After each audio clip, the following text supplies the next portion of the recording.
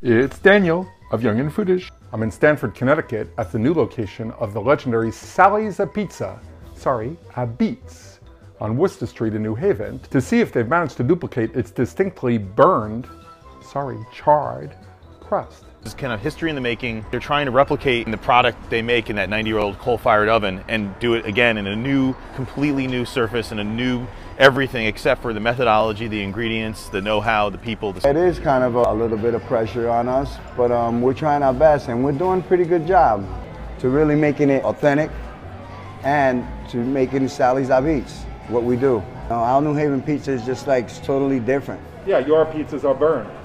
It's not burnt. I wouldn't say burned. Um, that's kind of the word we don't say around here. It's that love of that char.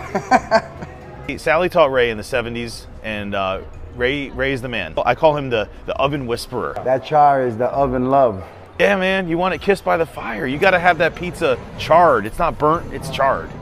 The char and the heat from the coal fuses everything together and just makes something out of this world. Did someone say burn? Who said burned?